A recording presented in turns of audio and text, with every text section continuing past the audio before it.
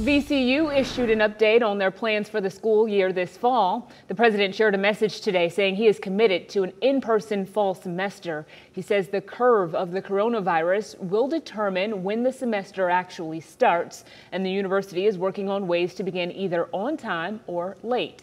The university hopes to have a better idea of when and how the fall semester will start in the next few weeks, and we're told a task force is working on ways to make sure there is a safe return to class.